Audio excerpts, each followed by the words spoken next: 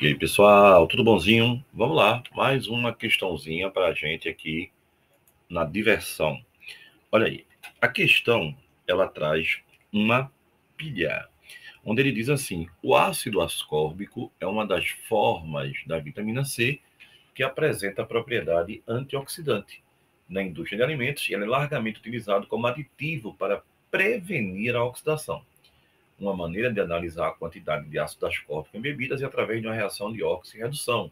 Oxidação é perda de elétron, redução é ganho, né? Aí ele diz, utilizando iodo. Com base nisso, foi montada uma pilha, conforme a ilustração abaixo, contendo eletrodos inertes de platina ligados a um voltímetro.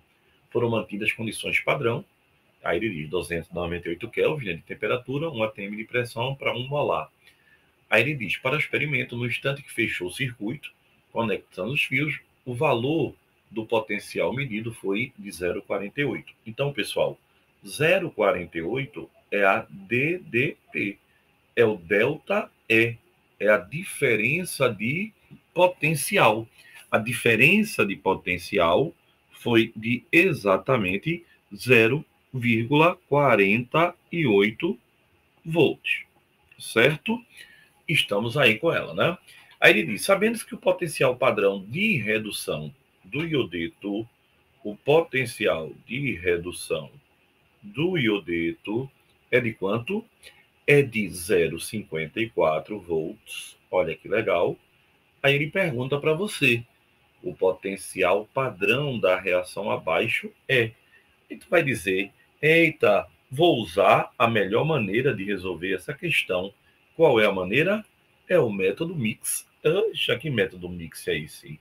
Mantém o maior, inverte o menor e soma. Em outras palavras, a DDP, né, o delta E, é o que, pessoal?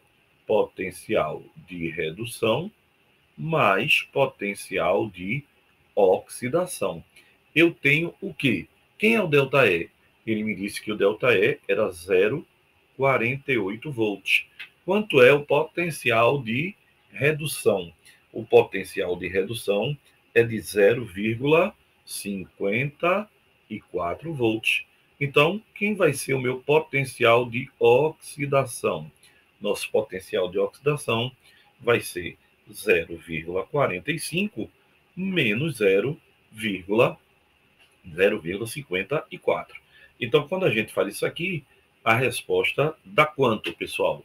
0,48, desculpa, menos 0,54, dando menos 0,06. Aí você vai dizer, eita, Guga, errasse, não tem resposta. Tem sim.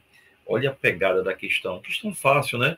Mas um detalhe, ele quer o potencial para a reação abaixo.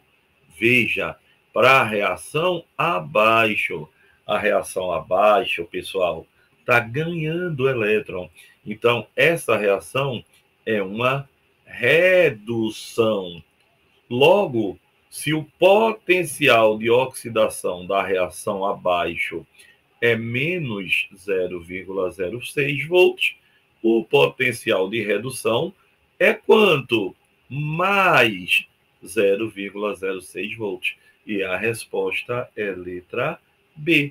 Questãozinha linda. Lembre, ele quer para a reação abaixo, olha que maldade. Aí ele bota a reação invertida, para ao invés de você ter uma oxidação, ter uma redução. Lembre, como é que eu sei que é uma redução? Olha aqui, ó.